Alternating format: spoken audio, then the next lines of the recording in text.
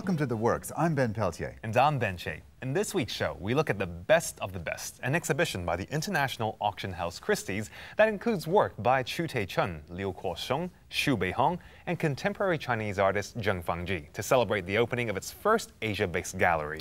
Painter Jessica Cheung takes us on a trip to a world in miniature in her exhibition I Am in a Microcosm World.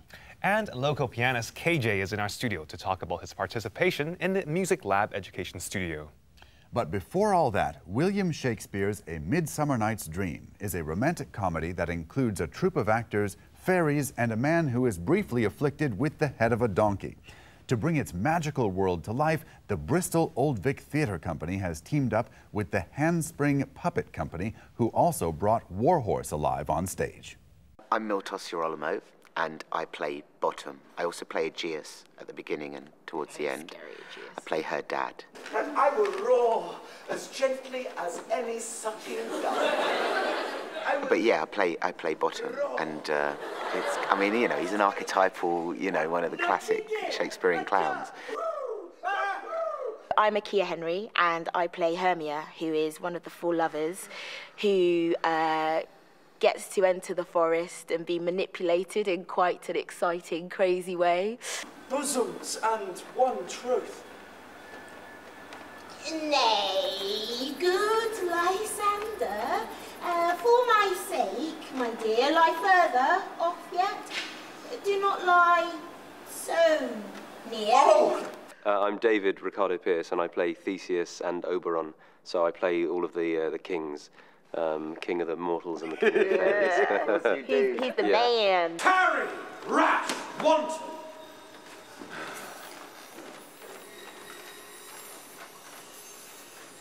Am not I thy lord?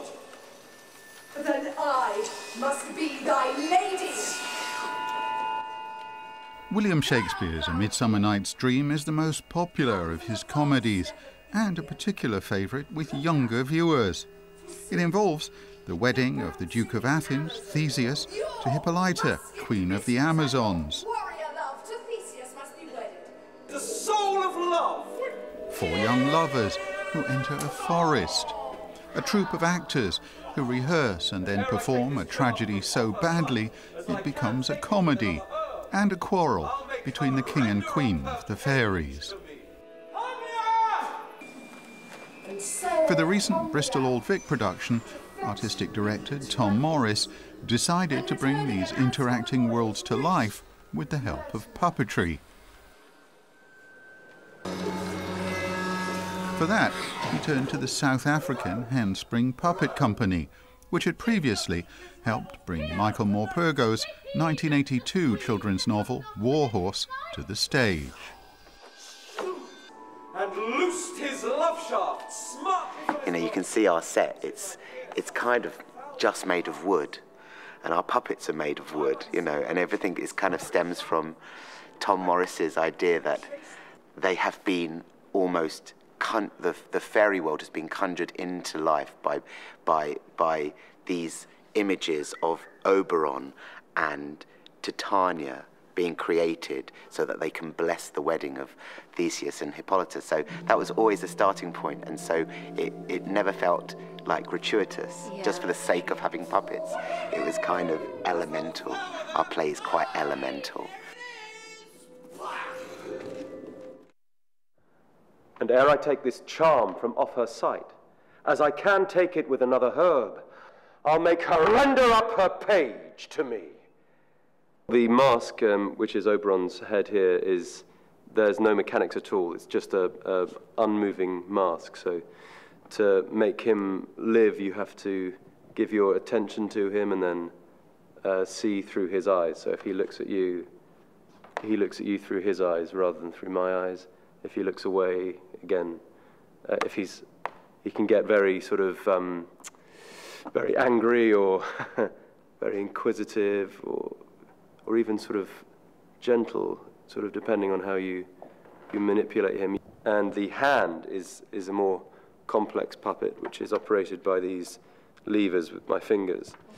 Um, so the hand can the hand can open um, if you press if you press them down.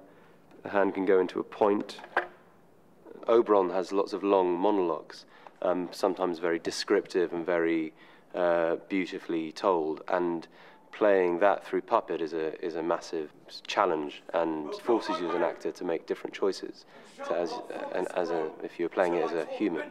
Um, and that's really that's really interesting actually, and that's I think there's something about about using Shakespeare's language, but playing it through what's essentially a block of wood, because they're not very complicated puppets. I mean, they're very basic. I mean, you'll see that they're pretty simple, like Miltos says, elemental puppets. You do kind of take for granted, just in terms of the technicalities of puppetry, what you have to go through. Like puppeteers, it takes them like six, seven years to master the craft, and we had six weeks. What's really great is like with the planks of wood, where we're exploring, you know, connecting with other characters in the story. Because in A Midsummer Night's Dream, whenever I see it, it always feels like I'm watching three different plays. And I feel like with our puppetry within our play, our version of A Midsummer Night's Dream, it feels like the planks of wood and different elements of the puppetry are allowing all of the different stories to be connected.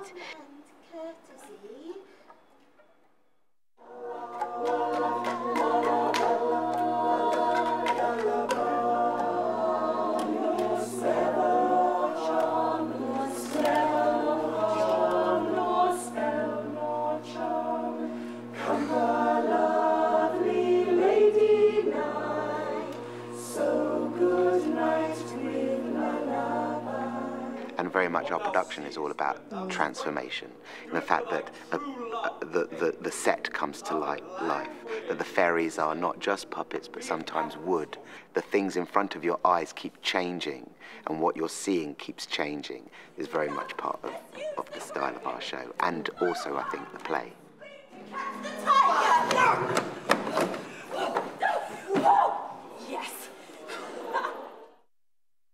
Over the past two weeks, the Christie's Auction House has been presenting the best of the best in a new gallery space on its Hong Kong premises, the James Christie Room. The exhibition closes Saturday. Right now, we're bringing you a sample.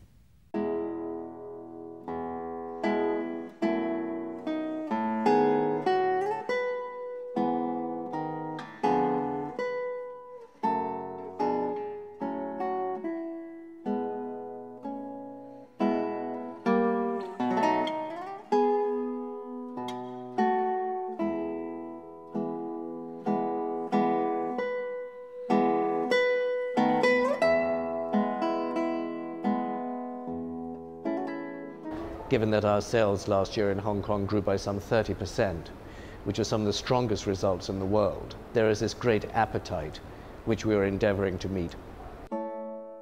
That we really, really wanted to have a permanent presence here, which will enable us to showcase some of the greatest art from around the world. We want to have a space where we can convene people, showcase great sales, showcase private sales, but also have the opportunity of just bringing people together so we can have art forums and discussions and it's a place for people to meet, get to know Christie's, get to know each other, get to know the art.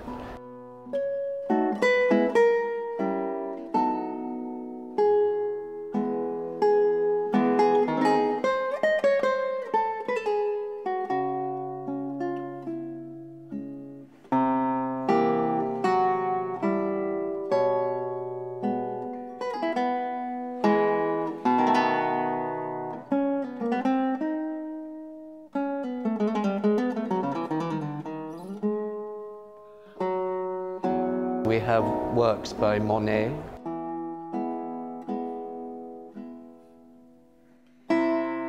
We have works by Warhol.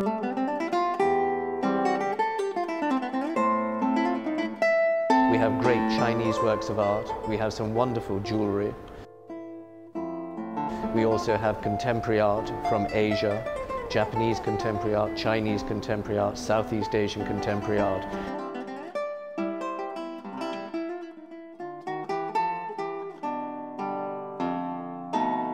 So it's all about showcasing the very best of what we are able to offer. And in addition, we have not only auction highlights, but also private sales, works for private sale, and works which are here just because we think they're wonderful works of art.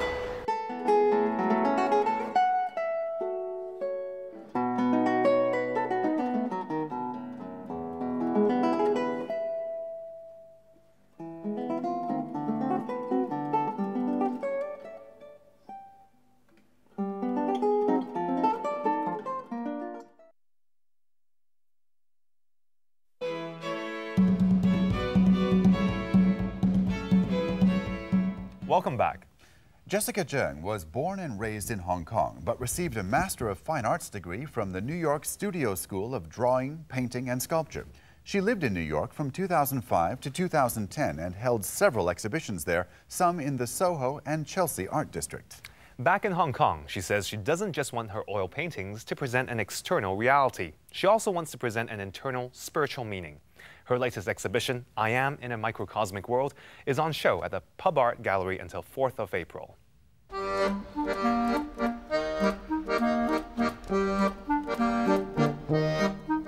以前即系我嗰个年代嗰阵时咧，个嗰啲旧式嘅诶家私咧，面头系有一块玻璃夹住喺度嘅， 咁佢有一個厚度。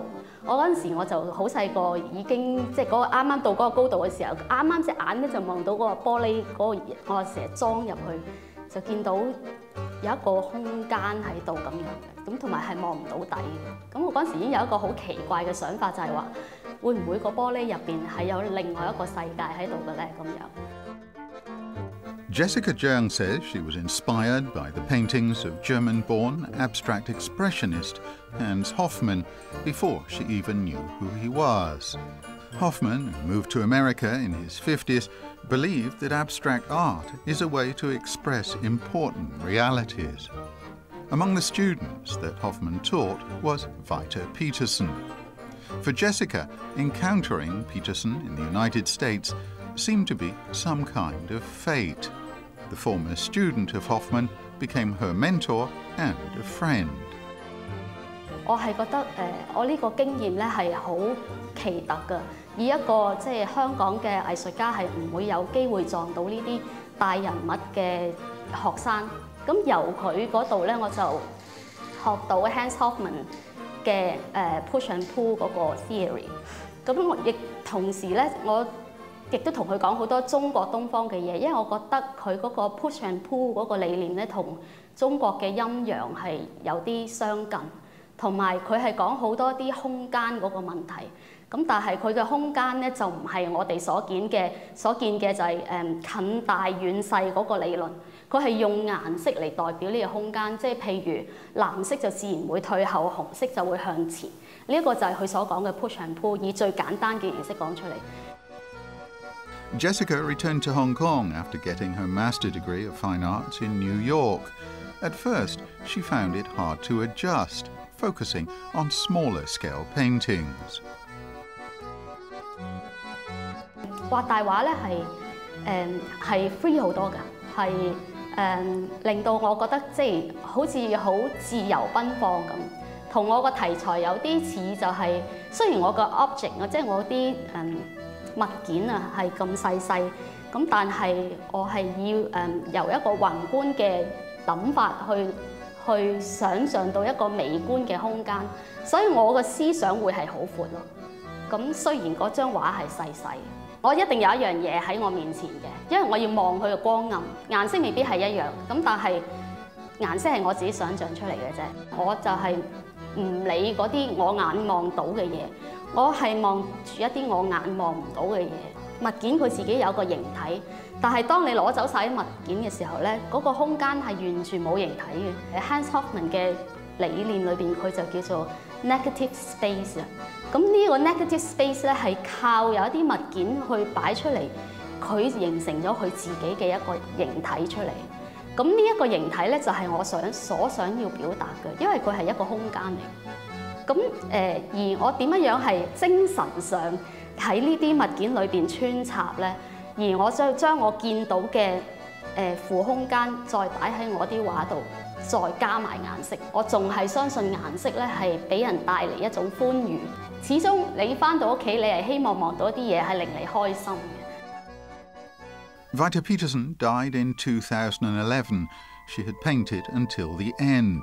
when, a year before her death, an eye condition made it impossible for her to work in colour, she switched to black and white. Jessica was saddened by her passing, but is determined to continue Petersen's exploration of the push and pull, the yin and yang of colour, form and space. 我唔想因為誒、嗯、要食飯誒、呃、要靠賣畫去食飯咁而 諗住個喂個 market 要咁咁咁啊誒、呃、你去迎合個 market 畫嗰啲嘢啦，我唔想，因為我始終係希望有一個自己喺度，同埋有一個自己嘅理念喺度，同埋要真係 make sure 自己係真係好中意好中意，先至可以有呢一份堅持喺度咯。咁所以我諗我我暫時我都會堅持落去。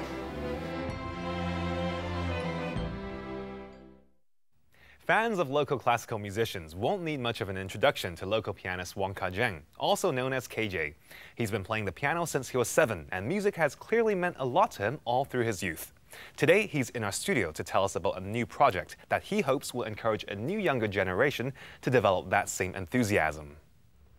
Well, KJ, it's a great pleasure to have you back in our studios. Um, it's been about three years since you were last on? That's right. Uh, what have you been up to in the meantime? Well, I finished my undergraduate studies at Indiana University. And, uh, and what was your focus of those studies? Piano? Piano performance. Right. And so now you're back in Hong Kong. Right. And what are you setting up for yourself here? Well, uh, we set, we've set up this arts organization called Music Lab and we just started a music education studio as well. We mainly do productions that, uh, that will bring music to different communities in Hong Kong. And also we try to break the format of classical music concert while being uh, truthful to our, to, our, to our art. And the educational component, how does that uh, dovetail into the performance aspect? It was after a few productions I realized that in the long term, in the long term I mean like perhaps in 20 or 30 years, the real audience of classical music must be nurtured. And I personally feel the responsibility to, to reach out to those communities. So we set up uh, an education studio where we try to bring music uh, from an educational front. And in terms of Music Lab, where would you like to see Music Lab in, say, 10 years' time? Wow, I wish Music Lab to develop to develop a sustainable orchestra, to have sustainable uh, business model that we can keep doing productions in different corners in Hong Kong and not just in the main venues. And perhaps I would like Music Lab to be recognized as a place where any musicians can join.